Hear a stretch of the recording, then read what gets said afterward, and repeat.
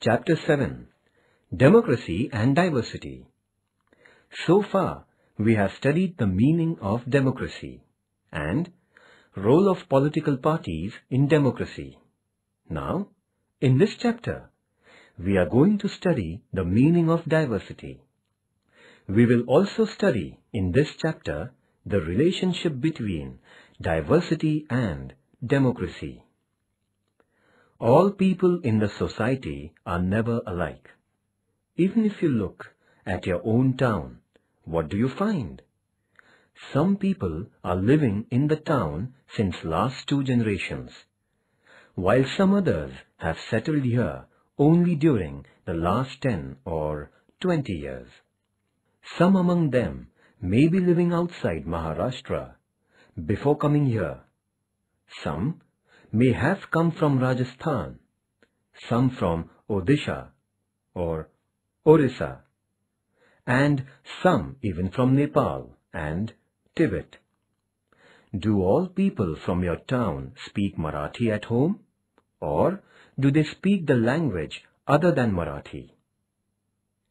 People from different regions, speaking different languages, and following different sects and religions, inhabit in any town and city. Such distinct nature of language, religion, region, culture, etc. is called diversity. There is one difficulty in organizing people on any single social basis. Suppose we decide to organize people only on the basis of the language they speak. But people speaking that language will have considerable internal diversity. Imagine that someone is trying to organize all Gujarati speaking people. They may come together on the basis of Gujarati language and culture. But some among them would be city dwellers and some would be living in villages.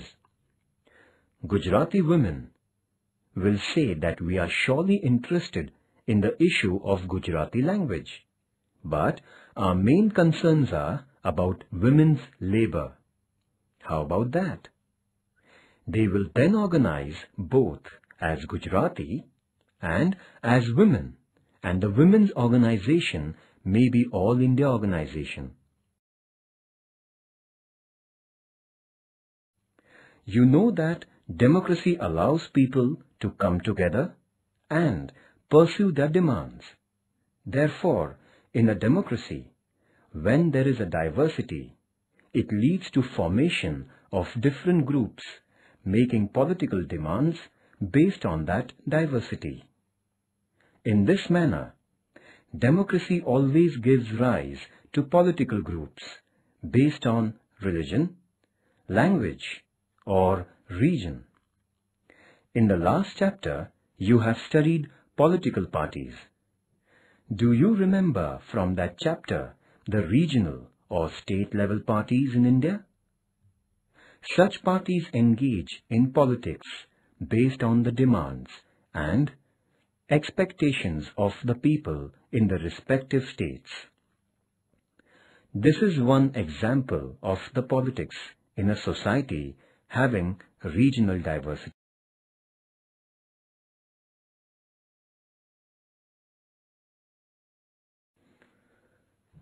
There is one difficulty in organizing people on any single social basis. Suppose we decide to organize people only on the basis of the language they speak. But people speaking that language will have considerable internal diversity.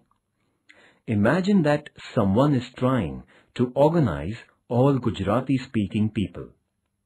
They may come together on the basis of Gujarati language and culture.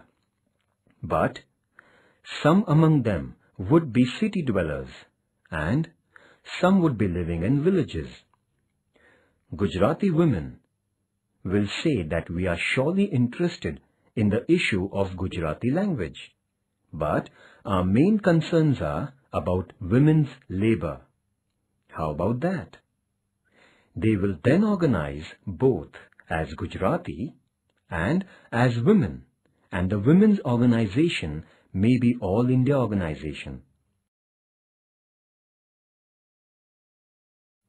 Thus, there is no single and straight answer to the question, who we are. We may simultaneously be Marathi from the Vidarbh region and Muslim. In such a situation, what will be our identity? Such a person will not only be Marathi, only from Vidarbh or only a Muslim. This person will be a Marathi Muslim person living in Vidarbh. So, this person may have different expectations simultaneously. At some point, this person will support an organization based on language. At the same time, he or she can participate in an organization working for demands of the Vidarbh region. And such a person can also be attending an assembly of Muslim community. In this manner, democracy allows politics on the basis of various interests. But at the same time, there is a scope in democracy to engage in politics going beyond our social groups. In all democratic societies, you will find that different special groups do get organized. But often, different social groups come together and try to press for their common demands. Religious diversity and democracy. It is necessary that there are cordial relations among different religions when people of different religions are living together. Otherwise, diversity may lead to inequality and conflict. People of different religions such as Hindu, Muslim, Sikh, Buddha, Jain, Christian, Zoroastrian and Jew live in India. So, India has adopted policy of secularism from the beginning. These people celebrate their respective festivals and follow religious rituals. There are economic and trade relations across religions. Many a times, people also participate in each other's religious functions. But sometimes, people of different religions experience situations of difference of opinion, competition and even tension. In such situations, government has to intervene and regulate the situation. In other words, religious diversity leads to different types of relations such as tolerance, cooperation, competition and conflict. Some measures are adopted to ensure peaceful coexistence of people of different religions. The most important measure is to allow every person to adopt a religion of his or her own choice and faith and follow the religion in worship and prayers. This is called freedom of religion. The second measure is that government must treat persons of all religions equally. Equal respect for all religions is a part of this measure. Equal treatment is important because if one religion is treated as superior to another, this leads to competition among different religious groups. The third measure for handling religious diversity is protecting minority religious groups and taking special care for their development. If this does not happen, it would lead to backwardness among some religious communities. Economic and educational backwardness among one community produces an atmosphere of mutual distrust among religious communities. Therefore, it is necessary to take every caution about equal development of people belonging to all religions.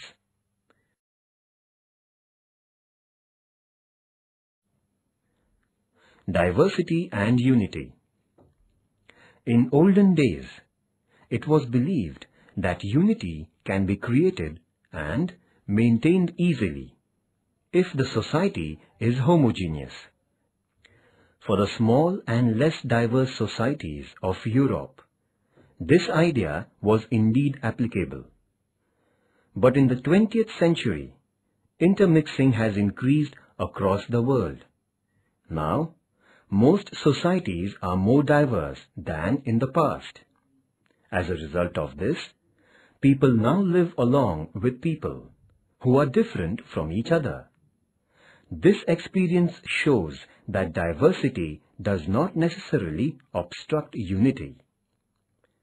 In our society, we have always experienced diversity of languages, regions, religions and sects.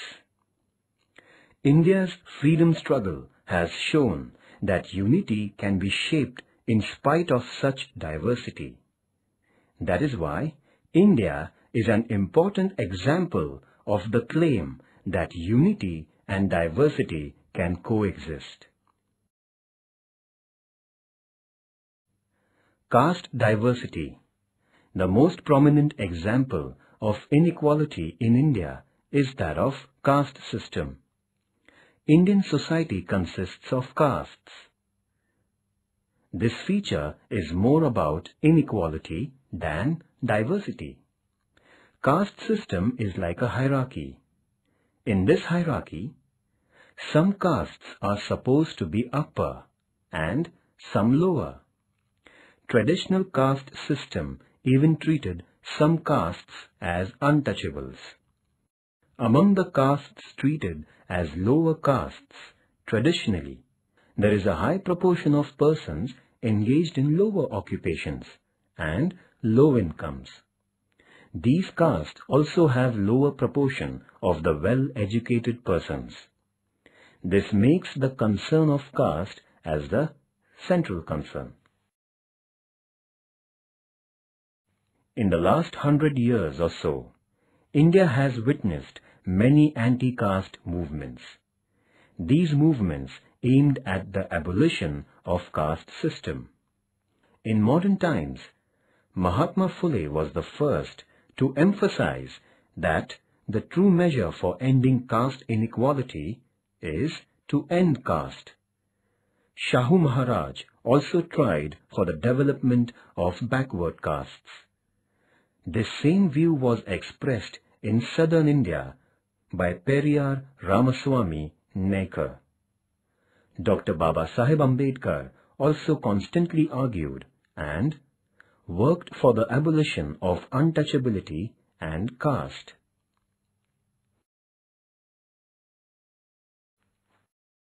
However, both Mahatma Phule and Dr. Ambedkar insisted that so far as caste exists, backward castes must get just share in education and in government service through policies of the government. This thought has been the main basis of independent India's policy towards caste. So, how did democracy deal with caste discrimination and inequality? As we saw from above, anti-caste views were expressed and movements took place against caste system. This created awareness about the ill effects of caste discrimination. After independence, some legal provisions came into being. For instance, Constitution considered untouchability as illegal. Constitution also provided that government should not discriminate among citizens on the basis of caste. Besides, special provisions were made for backward castes. Diversity and share in power. A society with diversity presents one more challenge for democracy. When different groups aspire for power, distribution of power among them becomes a crucial issue. If all power is held only by one social group, it would be inconsistent with the principle of democracy. Sharing of power by different groups ensures good interrelationship among the different groups in society. It also strengthens the democracy.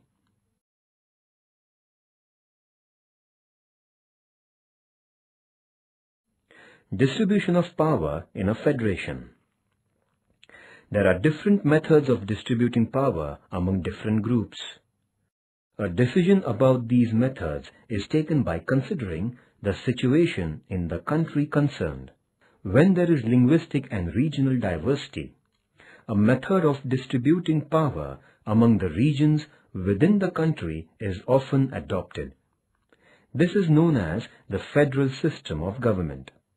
Under this form, the constitution itself creates governments as the regional level and decides the powers of the regional level governments. This makes it possible for people from each region to take decisions as per their needs. Decisions regarding the region's language, culture or local practices are not imposed on any region. The decision about the extent of the powers of the regional governments is made by the constitution of the concerned country. Such distribution of power is an important way of maintaining democracy and diversity simultaneously. India has adopted such federal system.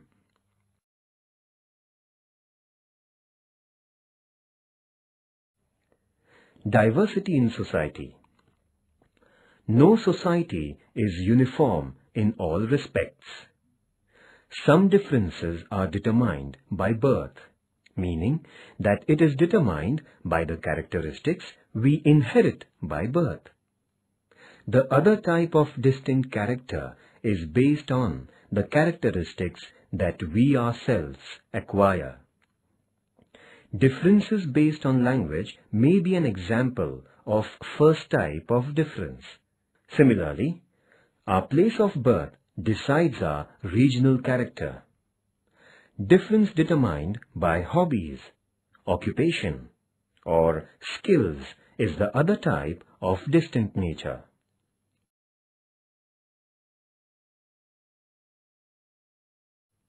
When we say that we are Marathi-speaking people, it means that we are born in a Marathi-speaking family.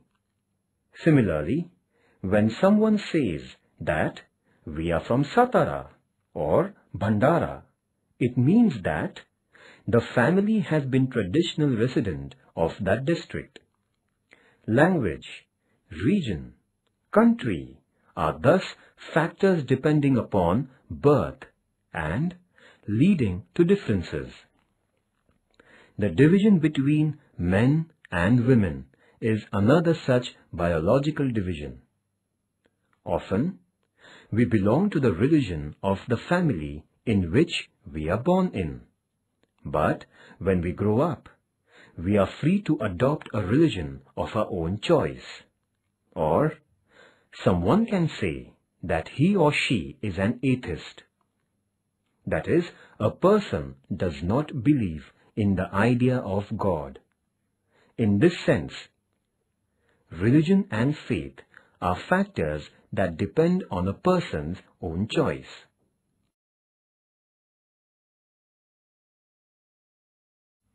In this way, we find that people around us belong to different groups. They speak different languages. They belong to different regions. Their religions and religious practices are different. Their occupations are also different. That is why we classify people as farmers, traders, shopkeepers, white-collar employees, etc. This fact that in one society, people having different characteristics live together is understood as diversity.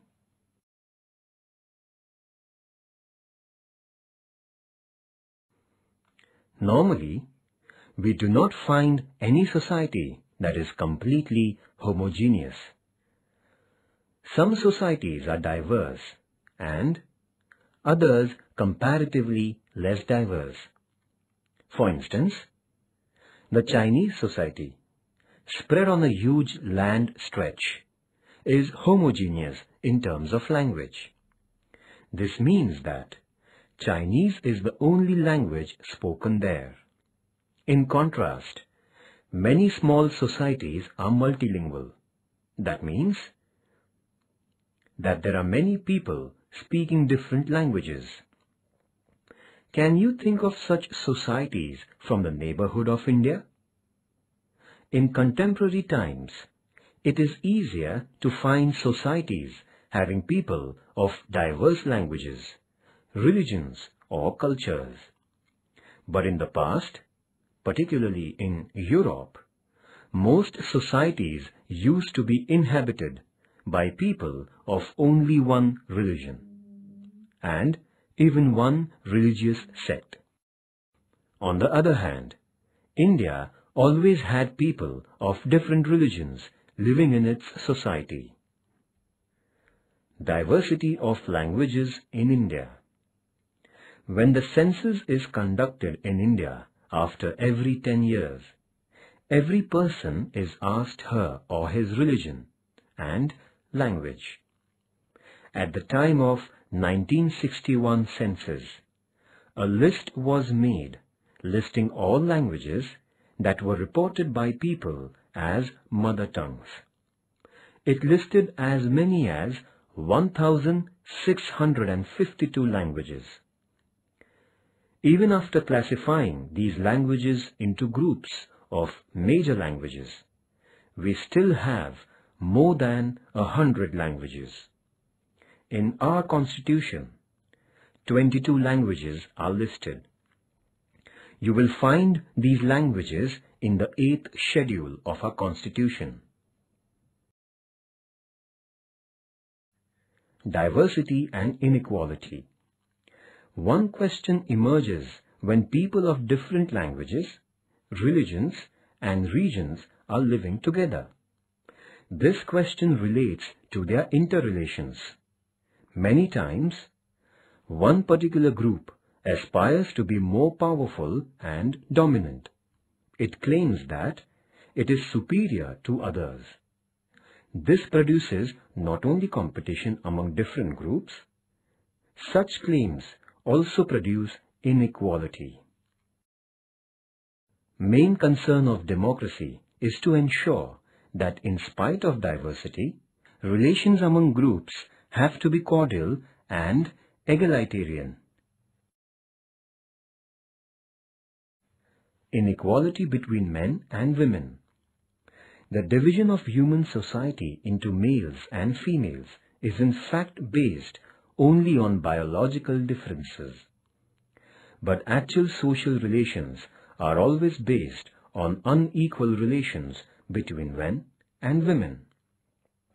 All societies in the world witness secondary treatment given to women as compared to men. Even in the family, women has less power and most often, family property is in the name of the male persons from the household. Whether it is about wages or about opportunities for promotions. Many times we see that injustice is done on women by giving favorable treatment to men. In addition to this, women also have to face violence, harassment and atrocities both in public places and at the domestic level. Tarabai Shinde, who existed from 1850 till 1910, wrote a book called Stri Purush Tulna, which means Comparison of Women and Men. This book, published in 1882, is seen as an important writing expressing the issues of women inequality. Tarabai hails from a family residing in Buldhana in Vidarbh. Her family belonged to the Satya Shodhak ideology and was the follower of Mahatma Phule.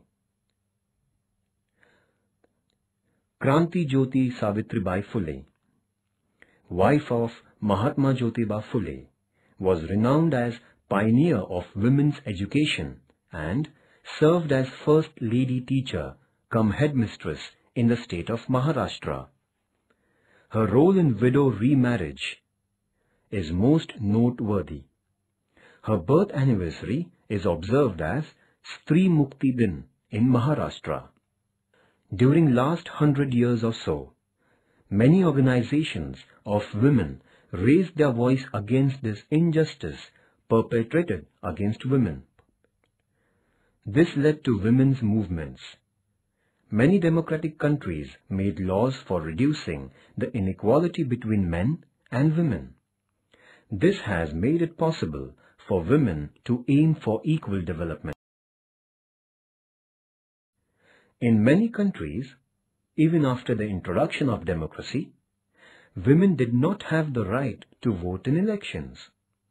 Due to the pressure of women's movements in the 20th century, gradually, many countries granted the right to vote to women. In the case of India, after independence, our constitution granted to all citizens, irrespective of gender, right to vote right from the first election itself. Though women got the right to vote, the number of elected women representatives is very low in most countries even today. To rectify this, various measures are adopted.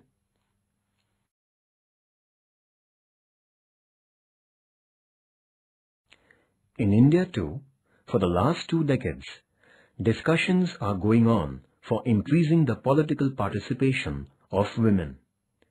Efforts are also going on to provide reserved seats for women in Lok Sabha and state legislatures. There is already a provision for women's representation in Gram Panchayats, municipal councils, municipal corporations and Jilla Parishads. Maharashtra government has increased the reservation for women representatives local government level to the extent of 50% since 2011. Besides, in Maharashtra, there is a system of reservation for women of offices for positions of Gram Panchayat Sarpanchas, Jilla Parishad Presidents, Chairpersons of Committees, Presidents of Municipal Councils, and Mayors of Municipal Corporations. If we take the global average, women account for less than 17% in national legislatures. In Northern Europe, this proportion is 40%. In rest of Europe and also in the American continent, women representation is 20%. In Asia and Africa, it is barely 16.5%. In India, we are still unable to cross the 9% mark. Efforts are also made for bringing about gender equality in matters other than political rights. In many countries, there is a legal provision that there will be no gender discrimination while giving government jobs. Constitution of India has also guaranteed that there will be no such discrimination. Government also implements various programs and schemes for the all-round development of women. Following ways are followed for resolving the issue of gender inequality. Women's organization and social awareness, legal provisions protecting women, implementation of welfare schemes, special provisions for ensuring share in power for women.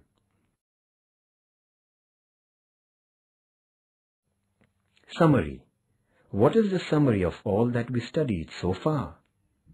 We saw that all societies have diversity of languages, regions, sects, religions, etc. When there is diversity, it is possible that different groups may have unequal relations. If that happens, it leads to social and political problems. And due to this, democratic societies face the challenge of retaining diversity and yet reducing or abolishing inequality. Governments in the democratic societies have to take the main responsibility in this regard. A democratic society has to fulfill five responsibilities with respect to diversity. First, to retain diversity. Second, to ensure amicable and egalitarian relations among different groups. Third, to set aside differences that lead to inequality. Fourth, to govern without discrimination. And fifth, to ensure fair share in power for different groups.